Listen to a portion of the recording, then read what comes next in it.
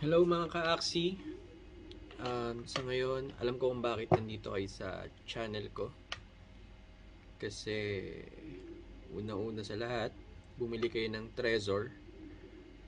At gusto nyong malaman kung paano ma-import yung account nyo from your, your old Ronin account to your new hardware treasure Trezor wallet. So, itong step na ituturo ko sa inyo ay based sa experience na ginawa ko.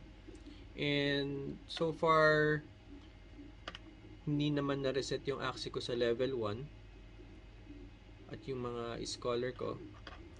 But, uh, pinapayo ko sa inyo kung gusto niyo talagang mas safe ay advised na gawa kayo ng bagong Ronin account nyo with your uh, Trezor wallet. Kasi if ever na manakaw yung seed phrase nyo na nakastore sa inyong computer or sa email nyo, pwede pa rin ma-import ng hacker sa kanyang Ronin extension yung seed phrase na yon and mababaliwala yung Trezor Trezor uh, wallet mo. And kung yung and kung confident naman kayo na hindi nakastore sa computer nyo yung uh, seed phrase nyo, like nakasulat lang siya sa papel, pwede na tayo magsimula. Okay? So, gawin na natin. So, by this time, uh, turuan kayo. So, siguro naman na-download nyo na yung Treasure Suite.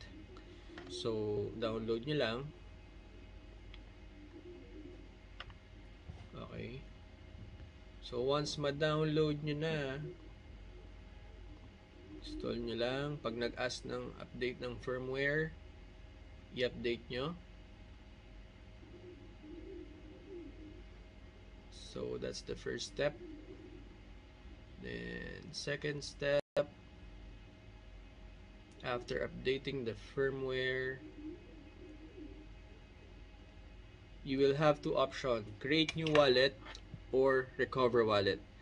So, in this um, option, pwede kayong gumawa ng new wallet nyo solely or gamit mismo yung uh, so panibagong Ronin account na to. Ito yung mare-reset yung mga access nyo sa level 1. Etong another option which is recover wallet, ang mangyayari dito kasi ilalagay nyo yung seed phrase nyo dito sa Trezor, Trezor wallet nyo And then, may mga steps lang kayong susundan. Like, so, ang first step is to choose um, recover wallet. So, it's up to you kung ilan yung initial seed phrase nyo. Merong 12, 18, 24. So, in my case, I had the 12 word seed phrase. So, pinili ko yung 12 word seed phrase. And then you will be given to option what kind of recovery method standard or advanced? So pinili ko standard. The recover wallet from seed. So during these steps may mga lalabas na words sa Trezor nyo. You just need to type it in dun sa screen nyo or sa laptop or computer nyo. And at the same time um, mag-ask sila ng for example, what's the third word on your treasure like, or, I mean, the third uh, word on your seed phrase, and the 10, 12, so randomly i-ask yun. Sundan nyo lang yon So, yun. So, at the end of this step, sasabihin uh, recovery completed. So, na-recover nyo na yung seed phrase. Nasa loob na siya ng Trezor wallet nyo. So, you'll be asked to set a pin. So, yung pin uh, it's up to you. It will be numbers na mag i-display nyo sa screen, nasa screen ng Trezor nyo. You just need to set it up. Then later on, it will be, you know, jumbled pag i-confirm nyo na kung ano yung pin nyo. So, this is for added security. So, after setting up setting up the pin, so, na set up nyo na yung pin nyo. Yung activate ng coins, optional, then select complete setup. Okay. So, ngayon, tapos na tayo sa Trezor part. ang gagawin naman natin is to remove the extensions sa Chrome, Chrome nyo. So, I will remove the Ronin extension and I'll, I will also remove the MetaMask.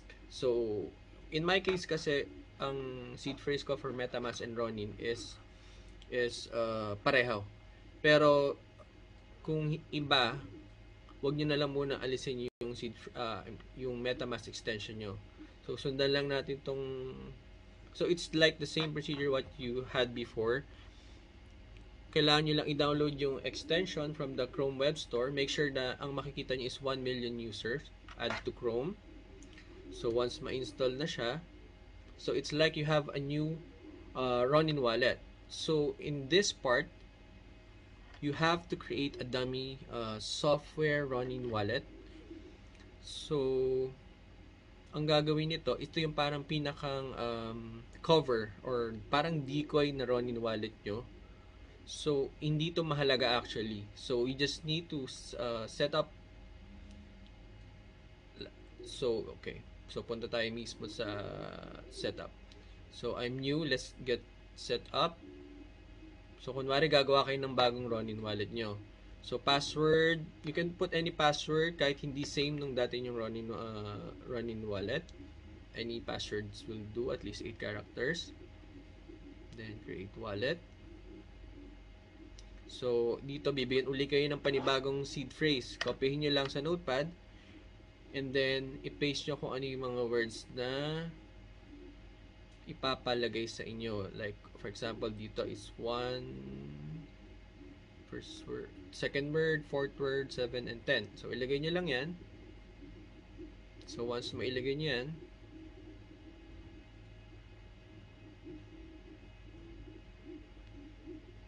yan. You're good to go na. So, makikita nyo, pag tinignan nyo sa Ronin wallet nyo, meron na kayong dummy uh, Ronin account. So, hindi nyo to gagamitin. It's like a way of opening the Ronin extension and adding your uh, or connecting your Trezor to your Ronin extension. So, once you open the Ronin extension, just go to connect hardware wallet. Connect wallet. Yan, maglo-loading siya. Export public key. Export lang.